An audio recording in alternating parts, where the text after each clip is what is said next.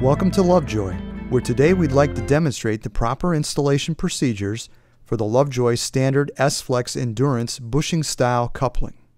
This installation video will show the basic procedures for installing this coupling. Please make sure you have access to the latest copy of the Lovejoy Coupling Installation Guide when performing the installation of this coupling. This document can be found online at Lovejoy's website by visiting the Resources page and clicking on Installation Instructions and Videos.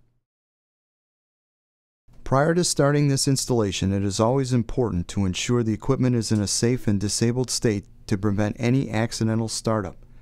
Because of possible danger to the person working on the equipment, you should always consult all applicable federal, state, and local regulations covering the safe operation and maintenance of equipment. This includes, without limitation, the lockout tagout procedure defined by OSHA.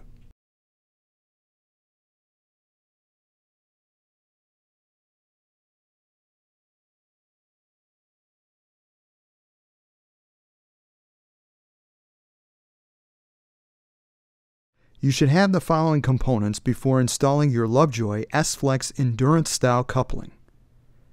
You should have two flange style hubs with tapered bores to accept the bushings, two QD or taper lock bushings, and a sleeve. Note that Lovejoy offers flanges bored to accept QD or taper lock bushings. However, Lovejoy does not supply either type of bushing. You should purchase the required bushings before installation. Always inspect the components to ensure you've received the proper parts and coupling necessary to accommodate your application requirements. If the shaft and the bushing both have keyways, make sure you have the appropriate key ready to use when performing this installation. Ideally, the key should be the same length or slightly longer than the bushing to transmit the maximum allowable torque.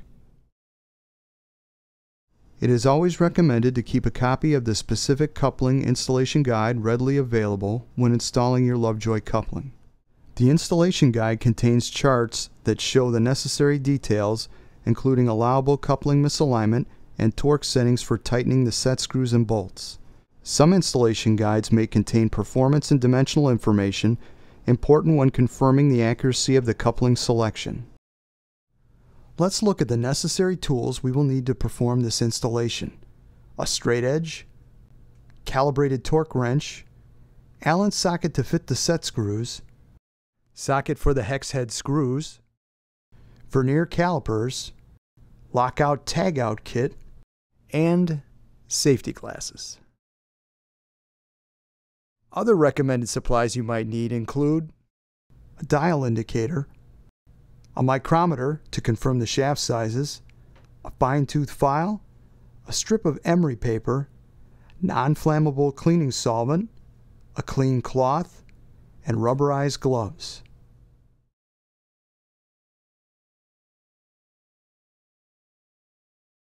Even though we have disconnected the power to this system, it is always a good idea to check and ensure that the power is off. When you receive the coupling, you should inspect each component to ensure that there are no visible defects, cracks, or damage from shipping. You may want to check the bore size for accuracy prior to continuing with the installation. If not done already, you should measure the shaft and ensure that the shaft diameter matches the coupling bore size. Then inspect the shaft and clean up any nicks or burrs from the keyway or shaft diameter. A fine-tooth file can be used to clean burrs from the edge of the keyway or large dents in the shaft. The emery paper can be used to clear the shaft of rust or any fretting corrosion. Finally, using our cloth and cleaning solvent, we need to ensure the surface of the shaft and keyway are clean and free of dirt. The hub and flanges should also be cleaned to remove any coatings used to protect them during shipping. Before installing the bushing and flange, place the key in the keyway on the shaft. The key should fit snugly into the keyway with no side-to-side -side movement. The end of the key should line up with the end of the shaft and the bushing once the bushing is installed. Slide the bushings into the S-Flex flanges and rotate each bushing until the holes line up with the tapped holes in the flanges. Insert the three hex head screws with lock washers into the bushings and hand tighten until the washers touch the face of the bushing. The assemblies can now be placed on the shafts. Please note that QD bushings are manufactured with a clearance or slip fit and should slide onto the shafts with little or no difficulty. Standard QD bushings have three retaining bolts. Each bolt should be tightened evenly using the industry standard procedure. With a calibrated torque wrench, tighten each bolt first to 50% of the specified torque, then 75%, then to the final torque as specified in the installation guide. The use of a torque wrench is important. If the retaining bolts are not tightened properly, the bushing and flange could work loose and slide on the shaft. If the retaining bolts are too tight, they could damage the key, shaft, bushing, or flange. We will tighten the set screws in one flange to the required torque, then lightly tighten the set screws in the second flange to allow for possible axial adjustment after the equipment is moved into place. If the sleeve is a split type, it could be installed with the equipment in place and one or both hubs slid back to provide clearance.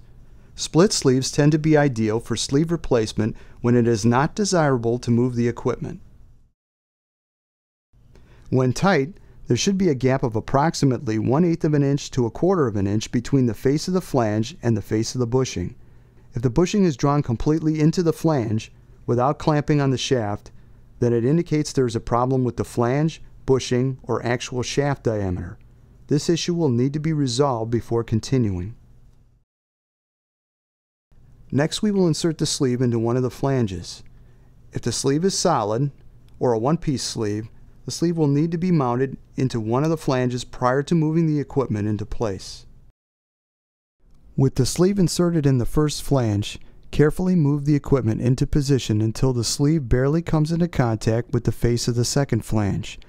Do not press the flanges together against the sleeve or you can inhibit some of the coupling's ability to accommodate misalignment. If necessary, the retaining bolts can be loosened on one of the flanges to allow for minor axial adjustments. If the sleeve is a split type, the sleeve could be installed with the equipment in place and one or both flanges slid back to provide clearance. Split sleeves tend to be ideal for sleeve replacement when it is not desirable to move the equipment. To check the basic alignment, Start by laying a straight edge across the major diameter of the flanges. The maximum allowable parallel offset should not exceed the amount for your particular coupling size found in the installation guide and shown here. Using calipers, measure the distance between the outside faces of the flanges as close as possible to the edge of the flange. It is recommended to take this measurement at four different locations around the coupling 3 o'clock, 6 o'clock, 9 o'clock, and 12 o'clock. All of the measurements should fall within the range of X min and X max on the chart shown here. The maximum difference between any of these measurements should not exceed the value listed in the column labeled angular. Note that the angular misalignment should not exceed 1 degree for EPDM and neoprene sleeves or a quarter of a degree for Hytrel sleeves. If the alignment falls outside these parameters, you may need to move the second hub or realign the equipment to correct this condition. If using a dial indicator, mount the indicator on the driver's shaft with the sensor touching the flange on the opposite shaft. Rotate the shaft with the indicator to the 3 o'clock, 6 o'clock, 9 o'clock, and 12 o'clock positions and make notes of the deviation on the dial. If the deviation exceeds the value in the column labeled angular, adjust the equipment to correct this condition. When the installation is complete and the equipment is aligned to meet specifications, remove tooling and material away from the shafting and coupling. Double check the set screw and spacer bolt tightness, then prepare for testing. Install the appropriate coupling guard per OSHA requirements and remove the lockout tagout kit from the power supply.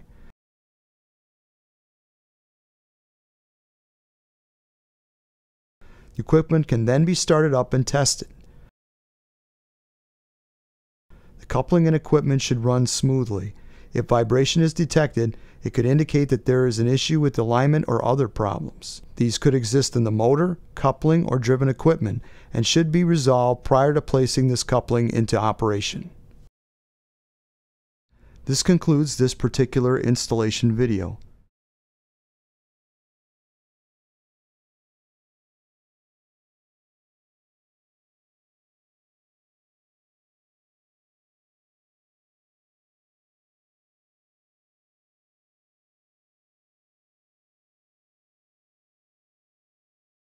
We would like to thank you for your interest in Lovejoy Power Transmission products. Please feel free to visit the Lovejoy website for links to other videos and installation guides. You can also contact Lovejoy customer service at 630 852 0500. Lovejoy, building trust since 1900.